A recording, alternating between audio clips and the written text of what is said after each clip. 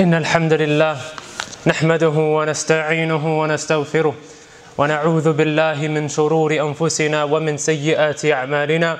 من يهده الله تعالى فلا مضل له ومن يضلل فلا هادي له. وأشهد أن لا إله إلا الله وحده لا شريك له. وأشهد أن محمدا عبده ونبيه ورسوله. صلوات الله وسلامه عليه. قال الله تبارك وتعالى في كتابه الكريم بعد أن أعوذ بالله من الشيطان الرجيم. يا أيها الذين آمنوا اتقوا الله حق تقاته ولا تموتن إلا وأنتم مسلمون. يا أيها الناس اتقوا ربكم الذي خلقكم من نفس واحدة وخلق منها زوجها وبث منهما رجالا كثيرا ونساء. واتقوا الله الذي تساءلون به والأرحام إن الله كان عليكم رقيبا. يا أيها الذين آمنوا اتقوا الله وقولوا قولا سديدا. يصلح لكم أعمالكم ويغفر لكم ذنوبكم. ومن يطع الله ورسوله فقد فاز فوزا عظيما ثم أما بعد فإن أصدق الحديث كتاب الله وخير الهدي هدي محمد صلى الله عليه وسلم وشر الأمور محدثاتها وكل محدثة بدعة وكل بدعة ضلالة وكل ضلالة في النار ثم أما بعد Dear respected brothers and sisters in Islam, we take lesson first and foremost from one of the pioneers of Islam. During the early stages of Islam, when the Muslims were the minority in Mecca, when Mecca was not populated by 100% Muslimin, rather they had the mushrikeen that were present at that time, the heads of the Quraysh were heads or were the custodians of the Kaaba at that time. The Prophet ﷺ and his small group of followers were considered the muhajirin prior to them migrating to Medina when Islam was fully established. One of those pioneers, dear brothers and sisters, I wanted to highlight in this khutbah. We can take lesson and make him a role model for our future generations. Because in this day and age, dear brothers and sisters, we as Muslims are suffering an identity crisis. Our youth and our shabab, they don't know how to identify themselves. Or they've lost their identity as Muslims. You see, we, we get our inspiration and our role models are perhaps specific athletes, or song artists, or celebrities, or whatever it may be. And the way to attack this is to teach our future generation about role models that Islam teaches us about. The best people after the Anbiya, which were the Sahaba radiallahu anhum. Allah subhanahu wa ta'ala says about these Sahaba, about the followers and the companions of the Prophet sallallahu alaihi wasallam, He says, radiallahu anhum wa radu. Allah subhanahu wa ta'ala is pleased with them and they are pleased with Allah being their Lord. This is the ultimate goal of the Muslim. We want Allah subhanahu wa ta'ala to be pleased with us. How do we do this? By following the traits of these great men and women that lived with the Prophet sallallahu alaihi wasallam. You see, when Allah subhanahu wa ta'ala chose the Sahaba radiallahu anhum, it was like a, a, a lady that goes to a supermarket, perhaps the men as well. When they go to the supermarket and they choose the ripe mangoes out of these spoiled mangoes. You don't go to a supermarket and choose the bad mangoes or the bad fruits, but you choose the ripe fruits so you can take it home. وَلِلَّهِ الْمَثَلُ الْأَعْلَى Allah subhanahu wa ta'ala chooses ripe fruits. He chooses the right types of people to carry the message. Because wallahi, brothers and sisters, if I myself were there, personally, if I myself were there, you will not be Muslim today. Because of the iman that we possess today, if we were next to the Prophet sallallahu alaihi wasallam, most of us would not be Muslim today. But because of their courage and their bravery and whatever they had to go through, their thick skin that they had to go through in Mecca, we are Muslim today. One of those Sahaba, of the pioneers of Islam, was by the name of Abu Dhar al-Ghifari anhu. Also known because Abu Dhar was his kunya, it was his nickname, Dhar was actually his daughter. His real name was Jundab ibn Junada anhu. He was one of the pioneers, one of the early Muslims to accept Islam. And Abu Dhar radiallahu anhu narrates his own story. Umar bin Khattab radiallahu anhu in the Musnad of Imam Ahmad, he asks Abu Dhar, he likes, you know, sometimes when we hear about new Muslims, we want to hear their stories and how they became Muslim. So Umar bin Khattab radiallahu anhu, he asks Abu Dhar, he says, Ya Abu Dhar, how did you become Muslim? Explain to us, show us, or tell us, how did you become Muslim? Abu Dhar al-Ghifari radiallahu anhu narrates his own story. And he says, I was from the tribe of Ghifar which was a, an extremely ruthless tribe, the thugs of Mecca. They had no limits to them whatsoever. And they did not respect Ashhurul Hurum, which were the sacred months in Islam or amongst the Arabs. Those were these sacred months in which the Arabs at that time in Mecca, they had a peace treaty. They would not fight one another within these four sacred months. Except for the tribe of Ghifar. These were professional raiders. They would raid caravans, steal, cheat, kill, create bloodshed without any limits whatsoever. So Ashurul Hurum had no meaning to them whatsoever. Those four sacred months, they would steal, they would cheat, they would raid the caravans. And Abu Dhar radiallahu anhu, he despised that. That they disrespected Ashurul Hurum. So him and his brother and his mother left. They left their tribe and they settled or they stayed at the house of their uncle. When they stayed at the house of their uncle, mashallah, the uncle was very hospitable towards them. He treated them very well. And this made the relatives of Abu Dhar, which was around at that time, it made them envious towards the uncle. Why is he treating them better than how he treats us? So the relatives started to make these false accusations about Abu Dhar and his family. And they said to the uncle, they said, you know what? When you are gone for business and for work, Abu Dhar, his brother, he visits your wife. This was obviously a lie. So the uncle gets furious and he gets angry. He storms into the house and he starts shouting at Abu Dhar. And Abu Dhar is wondering what's going on here. Why are you shouting at me? He makes these false accusations. And Abu Dhar radiallahu anhu, he says, all the good that you've done for me is completely erased. It's out. You've completely thrown it away by these words that you have just said. So the uncle realizes he's at fault. So eventually the uncle, he's very sad and very remorseful. And he tells Abu Dhar, please Abu Dhar, just stay. And Abu Dhar says, no, it's my time to go. Allah subhanahu wa ta'ala had a plan for Abu Dhar and his family, radiallahu anhu. Abu Dhar then continues and he goes to a city nearby Mecca, not necessarily Mecca, but nearby Mecca. Keep in mind, brothers and sisters, this was before Nubuwah. This was before prophethood. Everything that is taking place right now is before prophethood. Abu Dhar and his brother are now residing in a place nearby Mecca. And his brother Unais was actually a businessman. So his brother each and every single day would go to Mecca for business and come back home. Until one day, Unais comes back with breaking news. And he comes back to Abu Dhar and he says, Abu Dhar, you're not going to believe it. There's a man in Mecca claiming to be a prophet.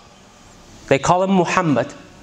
He claims to be a prophet and he's teaching the fundamentals of Islam, the five pillars of Islam. He's teaching you to be good to your neighbors. He's teaching you to be kind to the orphan, kind to the weak, treat them equally, all types of skin color, which was new at that time. In fact, the Prophet ﷺ was the only philosopher, only person in the entire world at that time teaching racial equality, teaching equality in all sorts. So this was strange, especially to the Quraysh. You're telling me that no matter how much wealth I have, I'm equal to my servant? I'm equal to my slave? This was something new. So Abu Dhar says, I want to know more. Tell me more. He says, oh, and then Unais, he, he continues, and he says, but they claim he's a madman. They claim he's a sorcerer, a magician. He's crazy, something's wrong with him. And Abu Dhar radiallahu anhu says, Ma ashfayta ghariri. You haven't satisfied my hunger. Abu Dhar then says to Umar bin Khattab, he says, I was worshipping Allah subhanahu wa ta'ala before I heard this news for three years. But he didn't know how to worship Allah. Then Umar bin Khattab says, How did you pray then? If you were worshipping Allah, then how did you pray before Islam? He says, whatever direction I faced, I prayed. Whatever way I prayed. If I sat down and I meditated, whatever way I just told myself I was worshipping Allah subhanahu wa ta'ala. So you can see Abu Dharr radiallahu anhu, he never associated partners with Allah subhanahu wa ta'ala. He never committed shirk with Allah subhanahu wa ta'ala. So when he heard this news from his brother, he said, Ma ashfayta ghalili. You haven't satisfied my hunger, my thirst, my crave. I want to know more. So he investigated. He himself, radiallahu anhu, went to Mecca. And then when he gets to Mecca, keep in mind, you know, he doesn't really know, he's not too familiar with Mecca. He goes to the first person he sees. And he says, and he says, Oh person, direct me to Muhammad. Where is Muhammad? And the man, instead of directing him to Muhammad, he directs him to the Kaaba. And he says, Come to the Kaaba. So he takes him to the Kaaba. Keep in mind the tribe of Ghifar, if they didn't, if they did not respect Ashur al-Hurum, which were the four months, why would they respect the Kaaba? So they didn't know what the Kaaba was. So Abu Dhar goes to the Kaaba. It's not like he said, I'm going to go to the Kaaba and just wait for the Prophet. Perhaps he's going to come. He didn't know where it was. So Abu Dhar goes to the Kaaba. The man takes him and he says, you know, Abu Dhar is thinking that he's going to take him to Prophet Muhammad sallallahu alaihi wasallam. But the man takes him to a group of Quraysh. And he says to the group of Quraysh, Ya Quraysh, this man right here, he's looking for Muhammad. And the Quraysh get up and they start beating Abu Dhar radiallahu anhu. And he says, كَأَنَّنِي نُصُبْ أَحْمَرٌ He says, when I got beat up by those groups of Quraysh, it was like nusub ahmar. He describes his body like how the idols at that time when they used to sacrifice animals, for the specific idols that they would sacrifice for, they would tie their animals to that idol, to that specific idol, and they would slaughter the animal, and the blood would gush on the, the idol, and it would drench the idol in blood. Abu Dhar radiallahu anhu describes his own body as nusub ahmar.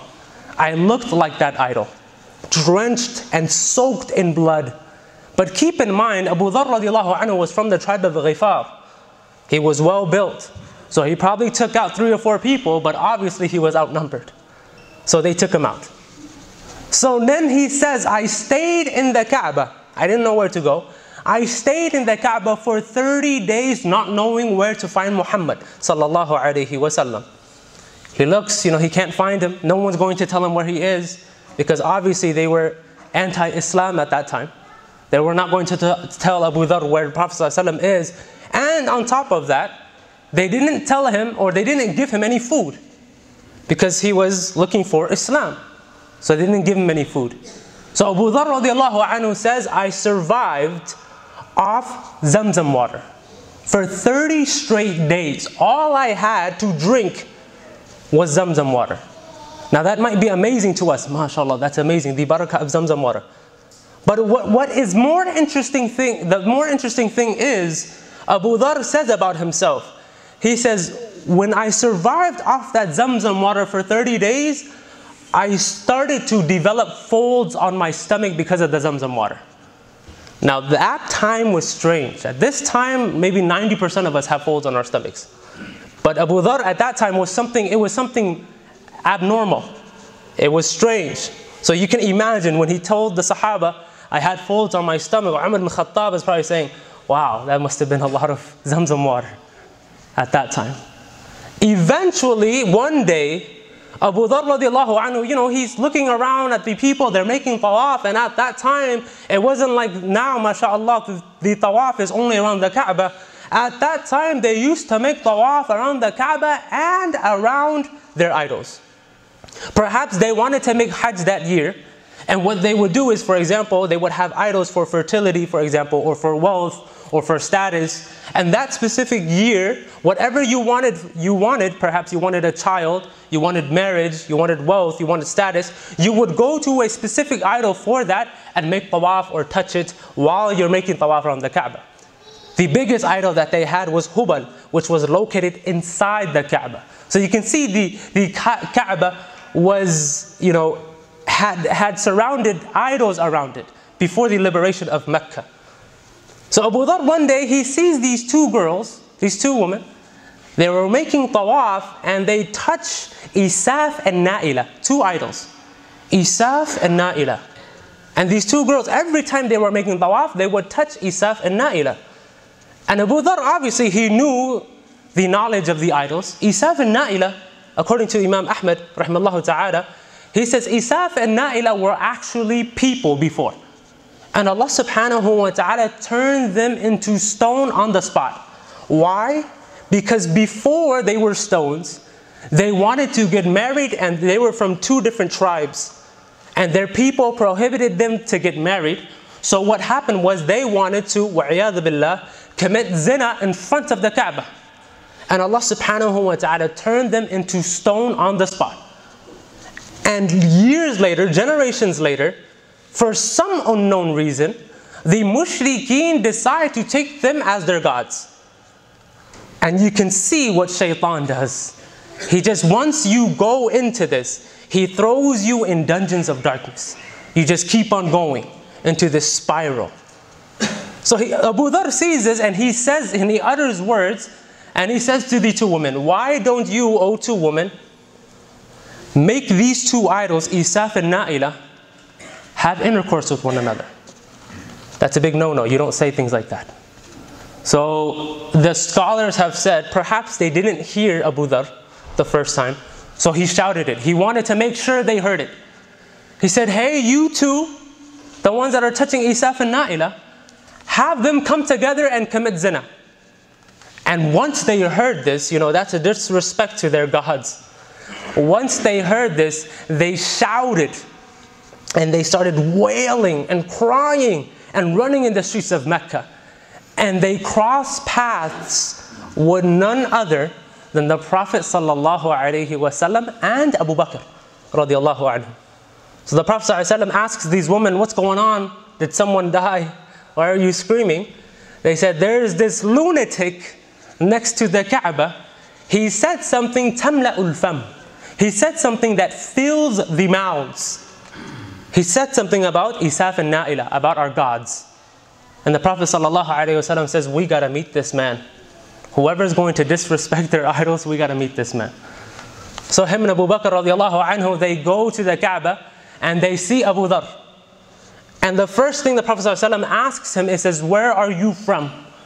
And Abu Dhar says, Ana min al Ghifar. I am from the tribe of Ghifar. And the Prophet ﷺ, upon hearing this, he is shocked. Ghifar, the ruthless thugs of Mecca, the professional raiders, you are coming here to accept Islam while my own people, the elites of the Quraysh, the influential amongst Mecca are not taking my message. And here you have the ruthless thugs of Mecca coming to accept Islam. So he places his head on his, uh, he places his hand on his head out of shock. And Abu Dharr radiallahu anhu says, you know, I was a bit, I was afraid that the Prophet ﷺ didn't like that I told him I was from Ghifar, so I tried to extend my hand to take the Prophet's hand away from his forehead. And Abu Bakr radiallahu anhu smacks my hand away. And he says, Don't you dare touch the Prophet sallallahu alaihi wasallam. You see, because they didn't know who he was. And they perhaps thought that he was an enemy. So he smacks his hand. He says, Don't you dare touch Muhammad sallallahu alaihi wasallam. Eventually, Abu Dhar becomes Muslim. And at this time, at Mecca, Muslims were the minority. They used to pray in Dar al Arqam. It was very secret. They used to pray not in public, but in private. So the Prophet wasallam says, Okay, Abu Dhar, now you are officially a Muslim. Uktum imanak. Hide your iman. Don't show people that you are a Muslim. Abu Dhar says, Okay. Days pass, Abu Dhar radiallahu anhu, he goes to the Kaaba now, in front of a group of Quraysh, and he says, Ya ma'ashar al-Quraysh, inni ashhadu an la ilaha illallah wa ashhadu anna Muhammad Rasulullah. He goes in front of a group of Quraysh and says, I bear witness and testify that there is no God worthy of worship except Allah and Muhammad is his last messenger. So obviously, you don't do this. Obviously, he was trying to hide his iman, but the Prophet ﷺ tells him to hide his iman, but he didn't listen to the Prophet ﷺ, and he goes out publicly declaring his Islam. and that group of Quraysh get up and they start beating him. كَأَنَّهُ نُصُبْ أَحْمَرٌ And he was blood, bloodied, drenched and soaked in blood. And he wipes off his blood with a smile now because he knows the reason why he's getting beat up. The next day, day number two, he goes to a different group of Quraysh and says, Ashhadu an la ilaha illallah wa ashhadu anna Muhammad Rasulullah and gets beaten up again. Day in and day out, he does this every single day until Al Abbas bin Abdul Muttalib, the uncle of the Prophet sallallahu alaihi wasallam, the brother of Hamza bin Abdul Muttalib radiyallahu anhu, he stops the Quraysh. He says, Ya ma'shar al Quraysh, what do you think you are doing? Who do you even know who you're beating up? And they say, No, he's just a Muslim. He just want to beat up a Muslim. He says, This man is from the tribe of Ghifar. If you kill him, if something happens to him, all of your trade and your business to Asham will cease to exist because they will take avenge for their brother's death and steal and kill each and every single one of you. Once they heard that Abu Dhar was from the tribe of Ghifar, they stepped back. Oh, Ghifar. I'm not going to touch Ghifar. So you see Abu, Dhar radiallahu anhu, he kept on doing this each and every single day until the Prophet sallallahu alayhi wasallam says, Abu Dhar, I think you need to go. You can't stay here causing trouble and just saying your shahada everywhere you go. This is causing problems. He tells Abu Dhar radiallahu anhu, go back to your people. Go back to your people and when I have fully established myself, then come back to me. When you have heard that I am fully established and fully settled, then come back to me. Abu Dhar radiallahu anhu, he listens to the Prophet sallallahu alaihi wasallam and he goes back to his tribe. When he goes back to his tribe, he teaches them about Islam. Keep in mind, Abu Dhar radiallahu anhu was with the Prophet sallallahu alaihi wasallam perhaps maybe a week or two. It wasn't too long. And he goes back to his tribe teaching them about Islam. Half of his entire tribe becomes Muslim. And the other half says we will wait to give bay'ah or pledge allegiance to the Prophet ﷺ himself when we meet him. And eventually the Prophet ﷺ gets to Medina, he has fully established himself. Abu Dhar radiallahu anhu, now he hears that the Prophet ﷺ is fully settled, he goes to Medina. And the Prophet ﷺ hears and sees this huge dust cloud coming to Medina. And they, the, the Sahaba, they were afraid, so they started to grab their weapons, thinking that it was foreign, a foreign enemy. Perhaps it was the mushrikeen trying to attack the Muslims. And the Prophet ﷺ says, Kun Abu Dhar. Relax, it is just Abu Dhar. Anhu. Abu Dhar comes with his entire tribe, all accepting Islam. In fact, his rival tribe, which was Aslam, they, when they found out the tribe of Ghifar became Muslim, they said, we want to become Muslim too. Two tribes becoming Muslim from the hands of one man that learned Islam in two weeks. Learned Islam in two weeks. And two tribes became Muslim. We ask Allah subhanahu wa ta'ala, with the little effort that we do for our da'wah, of being Muslim, that Allah subhanahu wa ta'ala puts barakah in our da'wah. That Allah subhanahu wa ta'ala puts barakah in our actions. That we see our actions in this dunya and in the hereafter. أقول قولي هذا وأستغفر الله لي ولكم فاستغفروه إنه هو الحمد لله رب العالمين والصلاة والسلام على أشرف الأنبياء والمرسلين نبينا محمد وعلى آله وصحبه أجمعين. I will conclude with the story of Abu Dharr radiallahu anhu. So we can focus on the lessons and the benefits of what we can take from this story. Abu Dhar radiallahu anhu, obviously, we can mention his, the way he passed away, the way he lived his life. Inshallah, that will be your homework assignment. We will only focus on the lessons that we can take from the story that we mentioned in the first khutbah. The first lesson that we can take from this story of Abu Dhar radiallahu anhu is if you are looking for change, if you are looking for guidance, Allah subhanahu wa ta'ala will help you. وَالَّذِينَ اهْتَدَوْا زَادَهُمْ هُدًى Those that seek guidance, Allah will guide you. The Quran, dear brothers and sisters, is hudan lil muttaqeen. It is not guidance for everyone. It is guidance for those that are conscious about Allah subhanahu wa ta'ala, that are aware of Allah subhanahu wa ta'ala. You see, the Prophet sallallahu alayhi wasallam will not be your inspiration and your role model for this dunya. He will not be your role model for this dunya. If you are chasing for al-akhirah, if you are chasing for the hereafter, then the Prophet ﷺ will be your role model. He will be, he will be your influence. He will teach you how to prepare yourself for al-akhirah. But if you want to know things about dunya and how to do this in dunya, how to do that in dunya, the Prophet will not be your influence. So we see that if you are looking for guidance, if you are looking for change, you have to take that first step towards Allah subhanahu wa ta'ala.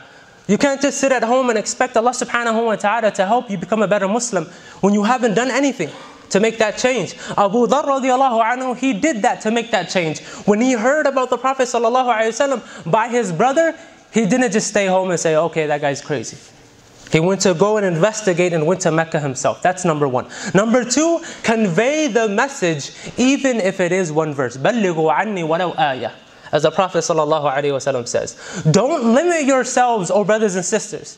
And you say to yourself, oh, I only know so much about Islam, I only know very little. And you don't share it with your coworkers, with your neighbors, with your Muslim family members, with your non-Muslim family members. Convey the message even if, it, even if it is one verse. Number three, change is possible for anyone. Do not underestimate the mercy of Allah subhanahu wa ta'ala. When the Bedouin made the dua, the, the dua for the Prophet ﷺ, the same Bedouin that urinated in the masjid of the Prophet ﷺ. After this, he, when he thought the Sahaba, the Sahaba wanted to beat him up because he urinated in the masjid, and the Prophet ﷺ prevented them from doing so. The Bedouin, when he cried out to Allah, he said, Oh Allah, have mercy on me and Muhammad and no one else. Now this dua is strange, and the Prophet ﷺ says, لَقَدْ حَجَّرْتَ عَنْ شَيْءٍ وَاسِعًا You have restricted something very vast. The mercy of Allah subhanahu wa ta'ala is for everyone. Allah subhanahu wa ta'ala sent a messenger to the greatest tyrant in the history of mankind, to the most evil person that ever existed, which was Fir'aun. That was because of the mercy of Allah subhanahu wa ta'ala. Couldn't Allah subhanahu wa ta'ala, when Pharaoh considered himself Rabbukum al-A'la, your God the Most High, couldn't Allah just kill him on the spot right there? But out of the mercy of Allah subhanahu wa ta'ala, He sends him Musa or Moses alayhi salam. Change is possible for anyone. Abu Dhar, the thug of Mecca, amongst the ruthless tribes of Mecca, accepts Islam, while Abu Lahab, Abu Jahl, the people and the elites of the Quraysh did not accept Islam. Change is possible for anyone. Look at the likes of Umar ibn Khattab radiallahu anhu. He radiallahu anhu was a man that tried to assassinate the Prophet sallallahu alaihi wasallam. Now he is buried right next to him sallallahu alaihi wasallam.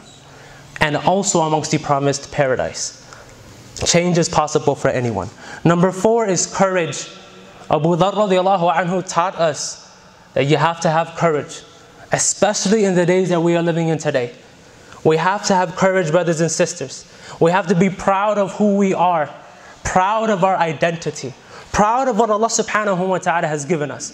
You see, it's, it's sad that Muslims are running away from the truth, and people that don't have Islam, they are trying to find the truth. Muslims are running away from Islam, and non Muslims are running towards Islam. We have to have courage, brothers and sisters. Be proud of who we are as Muslims. Number five is verifying the truth. If you hear rumors, if brothers and sisters are saying things about certain brothers and sisters, verify it. Don't just listen to it and accept it with open ears. Verify what you hear. Make sure what you hear is not just a rumor or some gossip that's spreading around the community, perhaps. Verify the truth. Number six, and that is the last one, the Prophet ﷺ says in authentic hadith, لا تحقرن من المعروف شيئا ولو أن تلقى أخاك بوجه الخلق. He says, don't ever belittle a good deed, even if it is smiling at the face of your brother or sister. Never belittle a good deed. Abu Dharr radiallahu anhu spent two weeks with the Prophet sallallahu alaihi wasallam. Was he an alim? Was he a scholar? Was he a faqih? Was he a person that knew fiqh? But he was a mufti later during the time of Abu Bakr and Umar. But at this time, he didn't know anything about Islam. He only knew the very fundamental, the basic fundamentals of Islam. Two weeks' time, he goes back to his people. An entire tribe and his rival tribe become Muslim after two weeks of workshop with the Prophet. Don't ever belittle a good deed you do. You smile at someone is a good deed. You're kind to someone is a good deed. On the day of judgment, on your mizan, on your scale of good deeds, you will see your good deeds piled high. And you're wondering why. And Allah subhanahu wa ta'ala will tell you, oh, so and so, you've smiled at everyone you've met, Muslim or non Muslim. You've smiled. You were kind to those that were weak. You were kind to them. You were kind to everyone. You were generous to everyone.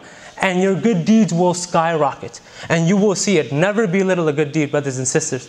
We ask Allah subhanahu wa ta'ala to accept all of those good deeds that we participate and involve ourselves in. We also ask Allah subhanahu wa ta'ala to forgive us for our shortcomings. We ask Allah subhanahu wa ta'ala also to unite us with the Sahaba radiallahu anhum in Jannat al-Firdaus al-A'la when we ourselves can ask Abu Dharr radiallahu anhu about the story of how he became Muslim. إن الله وملائكته يصلون على النبي يا أيها الذين آمنوا صلوا عليه وسلموا تسليما اللهم صل على محمد وعلى آل محمد كما صليت على إبراهيم وعلى آل إبراهيم إنك حميد مجيد وبارك على وعلى آل محمد كما باركت على إبراهيم وعلى آل إبراهيم إنك حميد مجيد.